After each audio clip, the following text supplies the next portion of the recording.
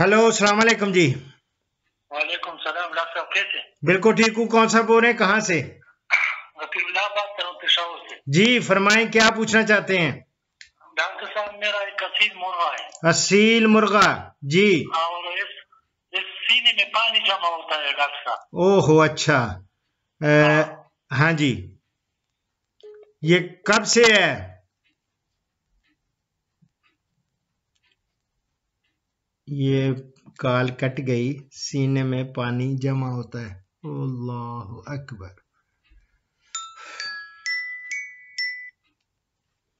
Hello? अस्सलाम वाक साहब एक सेकंड होल्ड करें जी। ये आपकी काल कटी है जो असील मुर्गा जिसके सीने में पानी जमा होता है? नहीं सर ये मेरी कॉल नहीं है। आपकी नहीं है आप होल्ड करें थोड़ा सा। मैं इसका जवाब कर दूँ ताकि ये बेचारे परेशान ना हो ना इनका अ, कोई फ़ायदा हो जाए या दो, दोबारा से हाँ जी? मैं सर आपके लिए पूरी ज़िंदगी वेट कर सकता हूँ आप मशवरा दे हमको। नहीं मेरी जान ज़िंदगी अल्लाह ताला रहम करे अल्लाह ताला आपको सलामत रखे। आप इसको अल्लाह अकबर। चले मैं इसका पूरा ये मैं सेव कर लेता हूँ सवाल जो है। और ए, इसका जवाब मैं अलहदा से कर दूँगा ताकि हो सकता है अभी अभी उनकी नहीं नहीं नहीं वो आपको नहीं मिलेगा प्लीज़ एक सेकंड बसमीम अस्सलाम वालेकुम नाजरीन और सामीन। और ख़ुसूस मेरे पेशावर से भाई जिन्होंने ये मामला उठाया कि उनका असील मुर्गा उसके सीने में पानी जमा हो जाता है। मैंने बहुत देर तक उनके टेलीफोन कॉल का की, का इंतज़ार किया, लेकिन उनकी कॉल दोबारा से नहीं उन, उन्हें मिली, या हो सकता है वो कोशिश करते रहे हों। लेकिन मैं अपना फ़र्ज़ समझते हुए ये अर्ज़ करना चाहता हूँ कि जितने भी मुर्गे हैं मुर्गियाँ हैं खा वो ब्रायलर्स हों खा वो लेयर्स हों खा वो ब्रीडर्स क्यों ना हों, ये सब में ये बीमारी देखने में आई है। इसको इंग्लिश में कहते हैं हाइड्रोपेरिकार्डियम।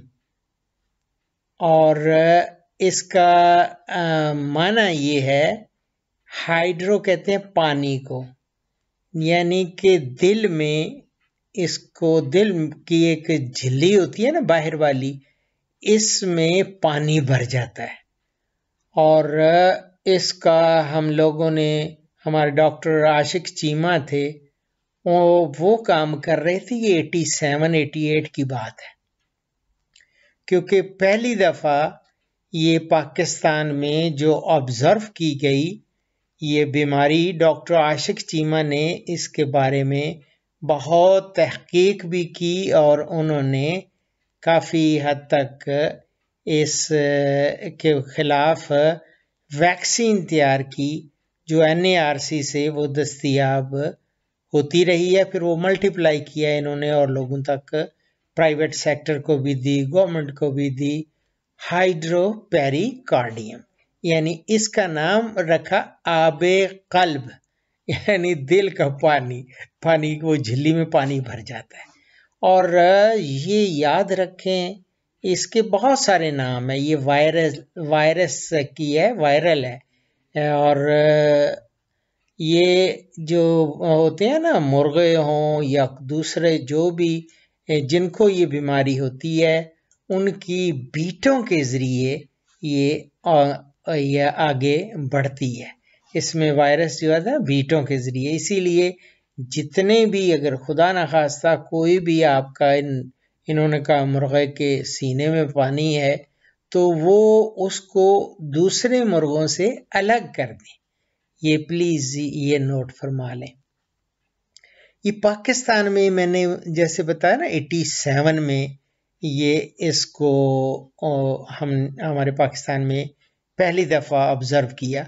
लेकिन जो पुराना मैं रिकॉर्ड देखता हूँ तो ये तो कोई 85 में, इराक में, फिर मैक्सिको में, और, साउथ और, जो सेंट्रल अमेरिका है ना, उसमें, उसके बाद रशिया और जापान इवन लेकिन इंडिया में देर से ये रिपोर्ट हुई है, कोई 1994 में ये बीमारी ये रिपोर्ट हुई थी। तो इसके लिए अब रहा कि आपने इसको कंट्रोल कैसे करना है?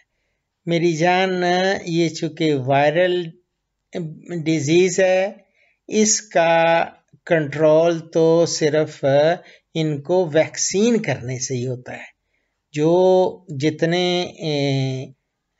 वो है ना हेल्दी या सेहतमंद परिंदे आपके पास मुर्गे मुर्गियाँ कोई भी हों, उनको हाइड्रोपेरिकार्डियम या आब कल्ब की आप वैक्सीनेशन वो करा दें।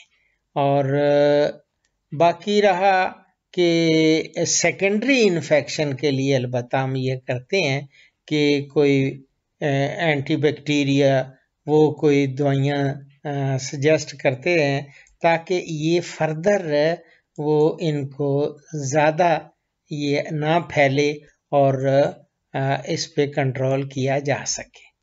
तो ये मेरी जान इसकी यही है, बस आइसोलेट कर लें, ये ज़्यादा बेहतर है परिंदों को, और जो भी बीमार है। और याद रखें, हमेशा एक उम्र के, मैं हमेशा पहले भी कहता रहा हूँ कि एज, एक एज के बर्ड्स जो हैं, वो एक जगह रखें। यानी मिक्स ना करें। बड़े भी, छोटे भी नोवे ये याद रखें। ये और इनको एक तो स्ट्रेस फ्री माहौल चाहिए होता है एनवायरनमेंट चाहिए। और सफ़ाई का ख़ास ख्याल रखें, क्योंकि क्लीनलीनेस यो नवाफ़ा मिनल ईमान। हमारी ईमान में से नवाफ़ा सफ़ाई है और इनको और ख़ास तौर पे जितने भी बर्ड्स हैं, इनको बहुत ही एहतियात से इनकी सफ़ाई, इनके बर्तन, इनकी जगह और उन पे भी कभी कभी उस पर स्प्रे कर दिया करें। और जितना हो सकता है, एहतियात लाजमी है। मैं इन ताला उम्मीद है कि आपको ये प्रोग्राम पसंद आया होगा। प्लीज़, अब इसका इलाज यही है कि आप जो बीमार है, उसको अलग करके उसकी ट्रीटमेंट करें, भले करें। मैं, मुझे अगर कोई सेफ़ किस्म की दवाई मिली और ख़ास तौर पे वो भी होम्योपैथी की तो वो मैं आपको ज़रूर सजेस्ट करूँगा। और, बाकी दूसरों को बचाने के लिए बेहतर है कि जितने भी हेल्दी हैं उनको वैक्सीनेशन या हफाजती टीके ज़रूर लगवा दें। इसी के साथ डॉक्टर अशरफ साहिबजादा को इजाज़त दें। फ़ीमान ला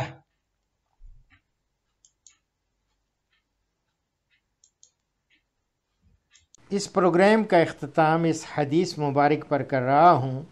हमारे प्यारे नबी हज़रत मोहम्मद सल्लल्लाहु अलैहि वसल्लम का अरशाद ग्रामी है। याद रखो, अल्लाह की मदद व नुसरत सब्र के साथ ही है और हर तकलीफ़ व मुसीबत के बाद कुशादगी है और बिलाशुबा हर तंगी व मुश्किल के बाद आसानी है।